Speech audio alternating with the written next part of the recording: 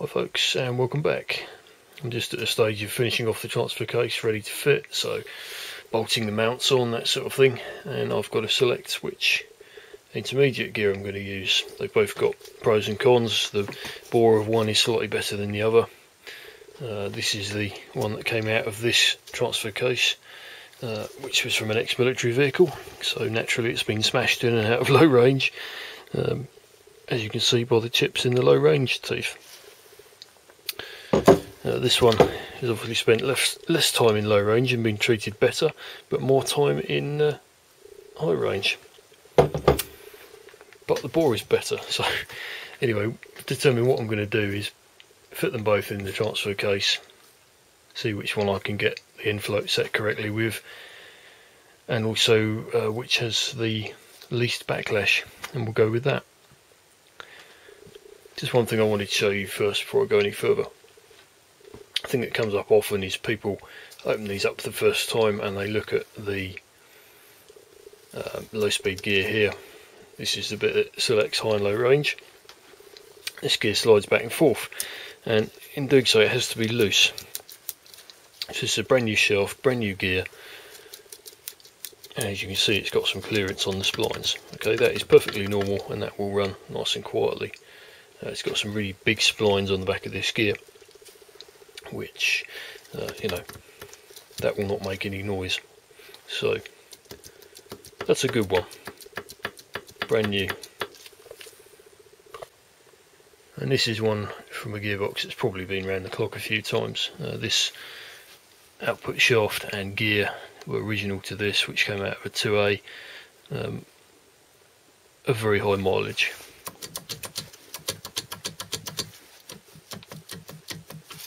can actually lift that one up and down as well. So, and if I could lock this up, you'd see that there was quite a bit of rotational. Oh, there you go. Um, whereas there isn't any of that with the other one. So, that's a knackered one. That one's replacing. So I've made my choice now. Uh, I'm going to use the intermediate gear that came with this transfer case. It's got the least inflow, least backlash, and it seems to run the most quietly. Just trying it on the bench here, so we'll go with that. Uh, bear in mind these gears are all new, so I could have used either really. Ideally I'd have a new one of these, but they're very expensive, and at the time I built this transfer case they weren't available, so we'll use this one as it's pretty good.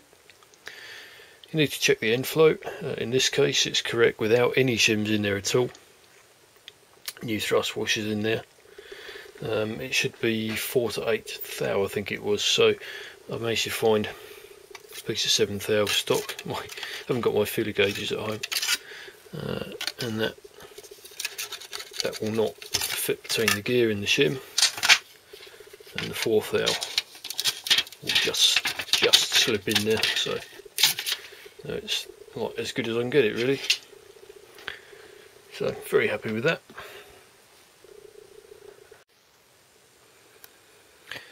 just having a look at the gearbox tonight. I was kind of hoping not to have to take the top off, but of course with the uh, detent plungers that are in there, uh, you can't actually select two gears to lock the box with the top on. So there's uh, two little, they look like elongated ball bearings, almost very short bearing rollers in there, and then a ball bearing either end, and one that sits on that selector and the odd spring goes there on the reverse side. So just be very careful when you remove the top that they don't whiz down in the box, they very often do. Anyway, it does mean that I can reseal the top. Uh, I wasn't happy with the sealant I used, so I'll use some silicone. Shouldn't need it, but they do. This is a standard gear. If you've got a standard uh, PTO cover fitted, instead of an overdrive or a PTO. So this comes off, you leave the oil shield in position. You've got that standard type of shaft nut. You've got a little splined washer thing. One of those. and we put all that away for safekeeping.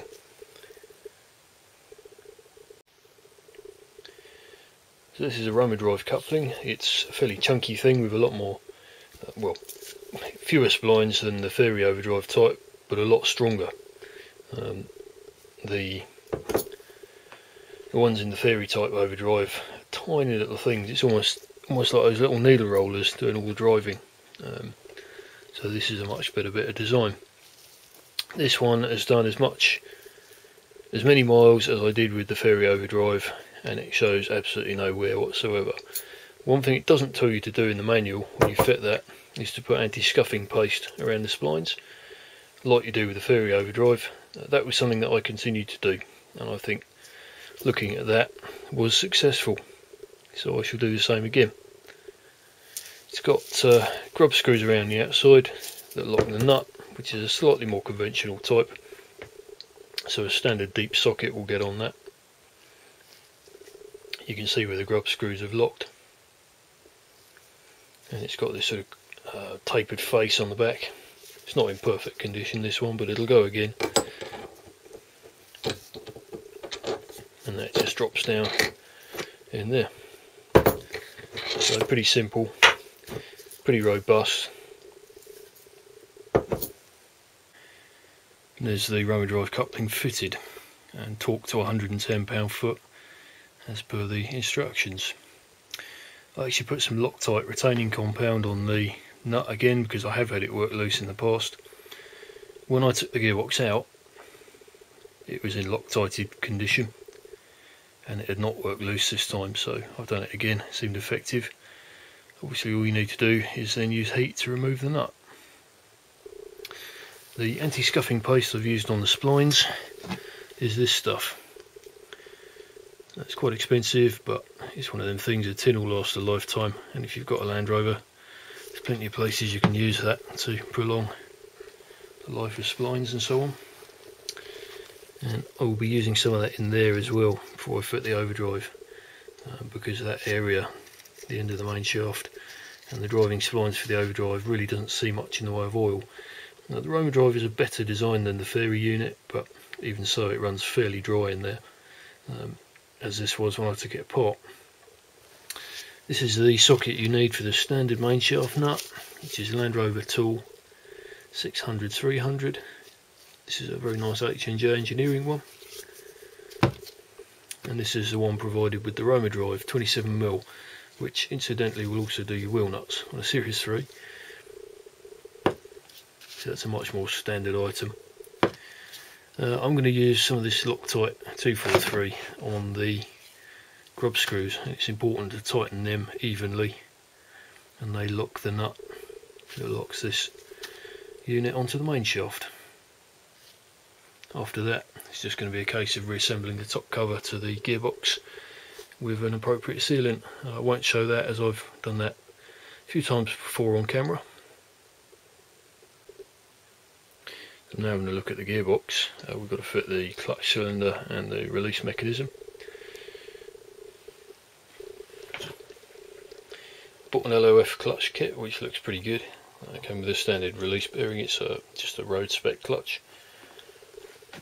First thing was that the, in the case of the one I've got, the push rod retaining clip they supply, which is a nice idea, um, didn't fit very positively and actually restricted the movement of the push rod. So I've elected to fit the plastic original one which works very well hadn't failed or anything um, I'm sure that could be made to work by tweaking it about, and I'm sure they're not normally an issue. I haven't heard anything to the contrary, but in my case that didn't fit. Um, they also supply a clutch release bearing retaining clip, which is a nice idea. Uh, much better than the staple.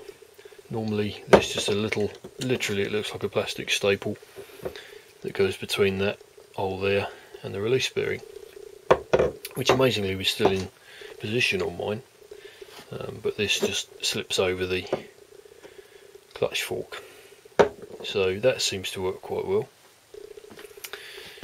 bit of molybdenum disulfide grease around the push rod on the bit where the release bearing runs on the pivot point for which they supply a new bearing and a little bit on the clutch splines as well on the primary shaft. release bearing clip seems to work very well.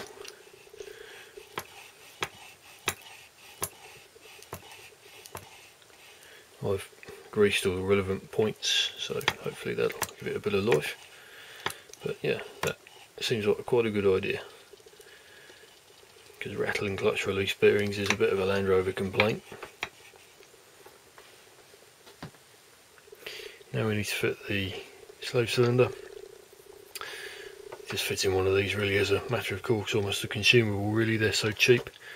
Uh, I've had the cover off put some red rubber grease in there checked it's clean that sort of thing made sure I can undo the bleed nipple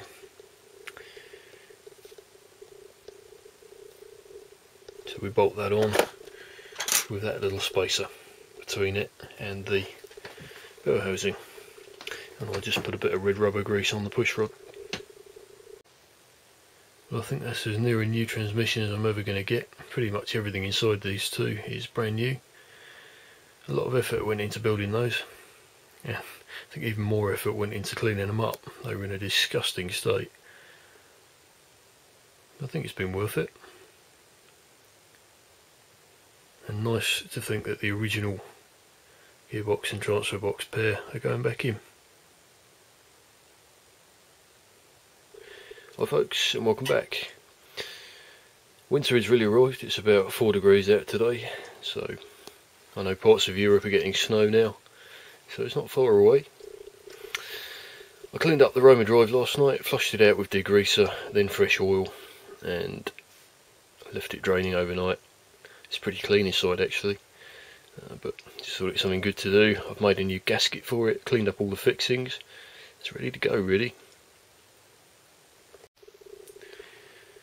So I've got a box full of bits and pieces here. So like the handbrake assembly, I took bits apart and greased it last night. All the mechanism for that and the, the back plate is given a thorough clean, greased in the right places. So that's all ready to go back. So I think basically we're there. Um, plentiful supply of tea, gearbox and transfer box ready to fit. So this morning's job is to take the clutch out and I'm going to have a look at that two and a half bell housing that's off my new engine going to compare that and the flywheel which is somewhere I think it's down there. I'm going to get that out and have a look at the ring gear and make sure that's the same as the one fitted. I think they should be actually being very late engine. Um, the blocks down there awaiting rebore so something I can do while it's apart now. Then we know that that's all going to mate up with the new engine quite successfully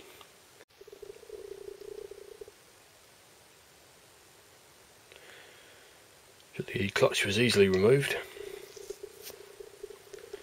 It's a uh, clutch fix clutch kit. Pretty good condition really. There's some wear on it but I don't know what's it done. Probably 20 something thousand miles since that was fitted and it would do an awful lot more. Spent quite a lot of time towing on my way to steam rallies, up and down through the gears on all the hills, so it's had a bit of a workout, but yeah, it's in pretty good shape.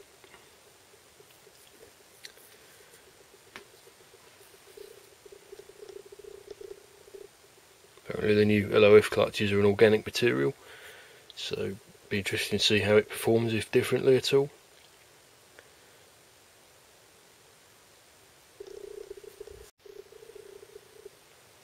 So the clutch spigot appears to be fine. I've checked it against the new primary shaft and the the one that I'm going to use for lining up the clutch. They all measure up the same. Clearance looks okay, so I'm happy with that. Nice to be able to leave that alone. They're a bit of a sod to get out if they don't come easily. Just trying the Series 3 clutch on the 2.5 flywheel. It fits perfectly, so that's useful to know. I've just compared the flywheel from the two and a half to the two and a quarter. The difference is the ring gear. Now, everything else about this flywheel is the same, apart from the bolts that hold it on. Uh, use special washers and a retaining ring. But the the series starter is the old early Lucas type that throws the Bendix in. I think these are the pre-engaged type, so the ones that have a solenoid on them. Uh, so knowing the cost of a new Series 3 flywheel, which would fit the 2.5 crank, I think the route to take is going to be to use this flywheel and a pre-engaged 2.5 type or Defender type starter, which is probably a good step up really. Just needs a little bit of wiring to do. Uh, literally just adding a signal wire to the solenoid. The only reason I painted this flywheel was because it was quite rusty, it got blasted. It'll be faced off before I use it. Um, but it got painted around the ring gearing on the back just to stop it going rusty. And I knew it was going to sit around for a bit. Anyway, useful little bit of research. I've actually put a mark on it somewhere so it goes on in the same orientation as the old one just for ease of assembly. so that goes over there.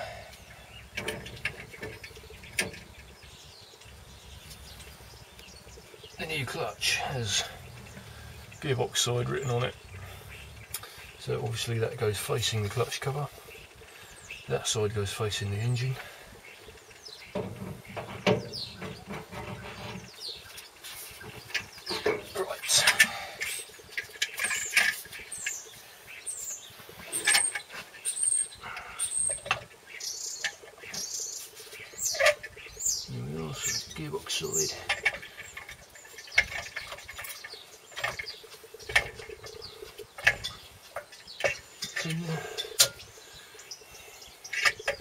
see the little funny enough, the clutch cover's in the right alignment already. And you've got these little dowels on the flywheel.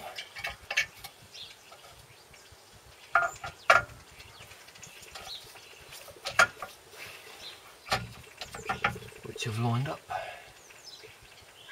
So that's that. The uh, new bolts supplied with the LOF kit don't fit. Um, this being a late Series 3, it's got metric threads of course. So something to bear in mind. Like a lot of these one size fits all kits, unfortunately isn't the case. The Land Rover's changed so many things over the years.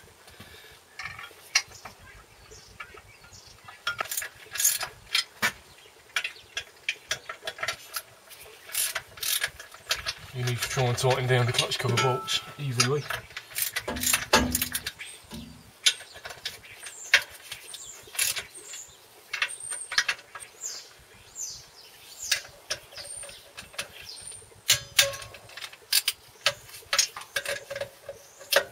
28 newton meters on the.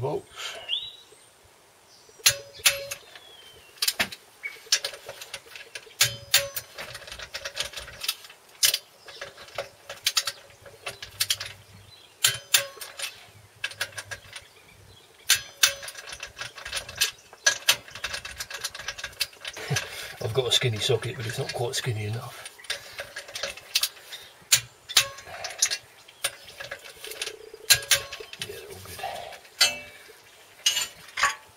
Screwdriver optional. So we're pretty much ready to put the gearbox in now. Just going to put some copper slip on the studs. Got some new spring washers ready. And uh, there is a trick to getting these in place where you put two long studs on the bell housing, but I'm going to try without that first. If not, I have got some bar to do that. Just had a little clean around the chassis everywhere I couldn't get to otherwise. Um, like this outrigger as well. And it's also okay under there, the galve's doing its job. Thank goodness.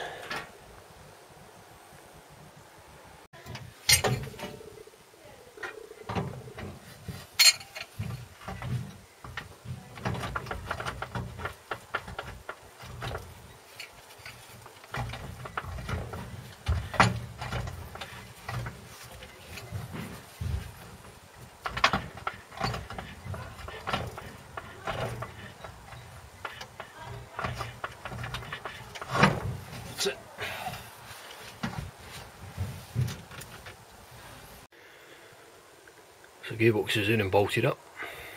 Nice big new spring washers. And I've now got the gasket on to fit the transfer box. Plenty of RTV. Gasket from H&J Engineering, perfect fit as always. Never ever had an issue with any of their products, really good. So that was pretty painless, transfer box is in. Definitely easier this way round than trying to put the complete unit in. Uh, the crane just got in the way and it took me an age, about 40 minutes to line it up. Uh, so this has been easy by comparison. And you don't need a crane.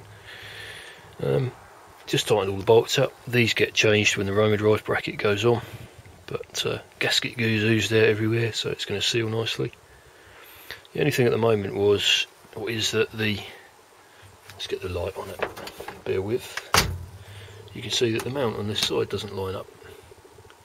So I think it's going to be a case of prying things into position. Uh, it does look like it's slightly crooked in the chassis, so I think we can actually lever it into place. The mounts are the ones that came off all those years ago when I took this out, so it shouldn't be an issue.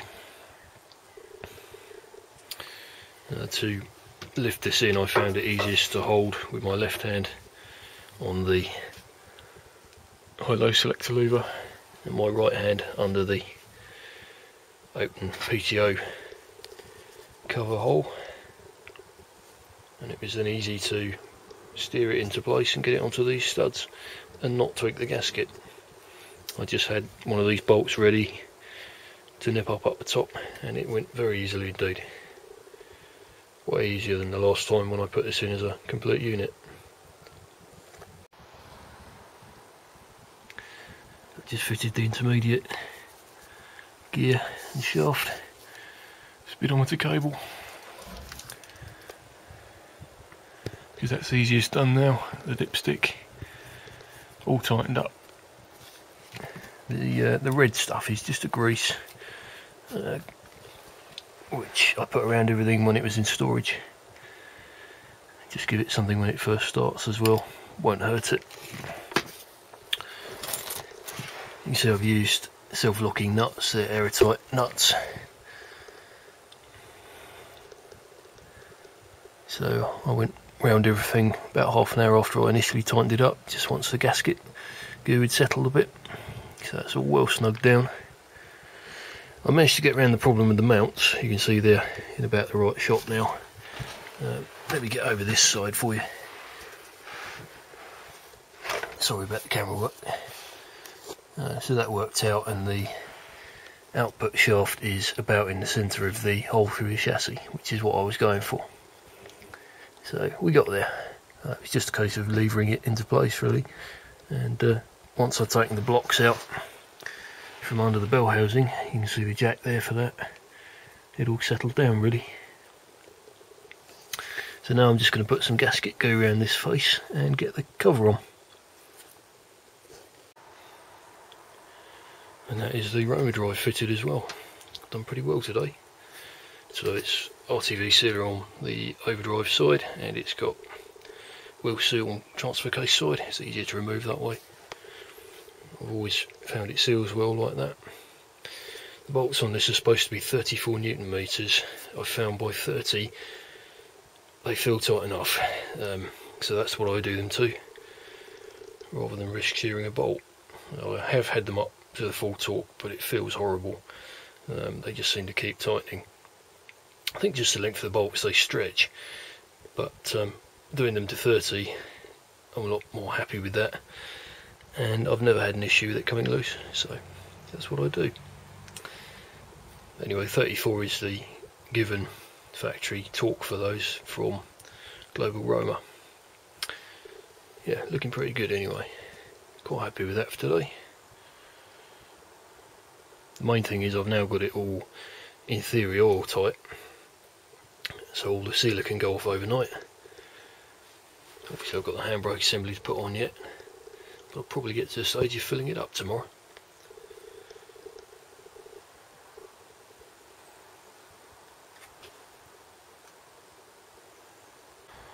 Just bleeding the clutch through at the moment. Very slowly, about 8 pound pressure. Found it easiest to tuck the bottle up in there. And I've got a shortened spanner on the bleed nipple on the cylinder. Always a bit of a tricky job. So I've had to employ the usual trick of getting the front near side off the ground to get it to bleed through. And uh, a, if we can get in there and see it.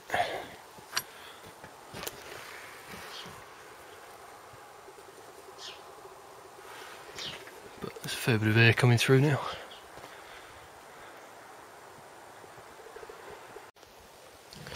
So we're going quite well now. Um, I'm going to try and hold my phone for light and the camera at the same time. What can possibly go wrong? Right, so we've got a fairly good pedal now. But hopefully in there you can see the, the release bearing just moving. So that's literally just touching the pedal. So that means we haven't got enough free play at the master cylinder. And that the release bearing is constantly touching the pressure plate. So I need to adjust a bit of free play now. Um, I wasn't sure if I'd got all the air out of the clutch system, but actually it feels like watching that, um, I've got it about right. Anyway, a bit more free play at the master cylinder and we'll be there. So looking into the master cylinder pedal box you can see that there are two nuts either side of the top of the pedal and what we need to do is just loosen them and effectively wind the master cylinder push rod towards the front of the car. So I spent a fair bit of time getting the clutch adjustment just right on the master cylinder push rod. Having done so, just giving it a final bleed through I've got a pretty reasonable pedal. So there's what looks like a spongy bit up the top. Well, the system is working. You've got six millimeters free play as prescribed in the manual, as near as possible to adjust. Then it's taking up on the pressure plate, and it's doing the job. So it's pretty good actually. It's basically what it should be. I think I actually had it adjusted a bit hard before. But that little bit of free play is important to allow the release bearing in there to come free from the pressure plate. So I can turn that. But if I just touch the pedal like that, it's touching. So that's how it should be. You need that little bit of slack. Uh, the manual does give a pedal height from the floor, I think it's something like 150 mil, which you set on the stop on the uh, on the pedal box, but do check that figure. Anyway, all seems to be alright, so I'll disconnect the bleeder, make sure the bleed nipples nipped up properly, and that's that. I think next we'll get the transfer lever on perhaps and the handbrake.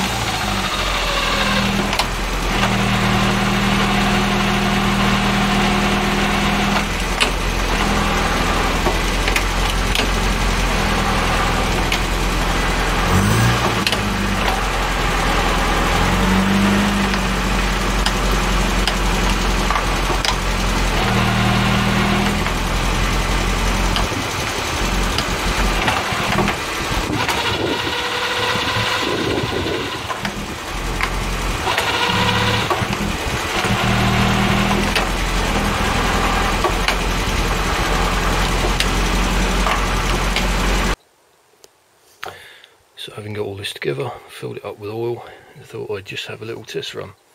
Everything works, uh, get high and low range, four wheel drive, pops in and out fine. Um, but if it looked like a struggle getting the gears, it was. Uh, I've adjusted the reverse detent correctly, but it's just like the last one, very tight, and it's actually just got better while I was sat there taking it through the gears. So if it looked like I was being a bit violent with it, I was. Um, I found this with the last one once I'd selected the gears a few times, running like this without the props. Uh, it all freed up a bit. Slightly disappointing, I had hoped that it was going to be easier than that. Um, of course, when driving on the overrun, the gearbox will still be turning. It'll be a lot easier to get the gears. Um, the clutch doesn't appear to be dragging, which is good, so the adjustment's about right. But I think it is going to be a case of just going for a long drive, perhaps struggling with it a bit at first till it frees up uh, just like last time. Anyway, uh, yeah, there's a few things that cause that, I suppose. Um, the springs in the synchronizer hub, third and fourth, will be tight. Obviously, the first and second synchronizers are a lot tighter on this one, and uh, you've got nice new heavy detent springs in the top, and they do actually squash down a bit over time. But it all works. It's not leaking oil, so I think we will actually be good to go. Well, just to finish, it is improving. Uh, the I couldn't actually select any gears when I first put the gear selector lever on. Now, with it stationary, I can do that. Just about. So just for a short run like that, it has actually started to free everything up. Just had a look around, no oil leaks. So that's a bit of a result. I think we had one last time.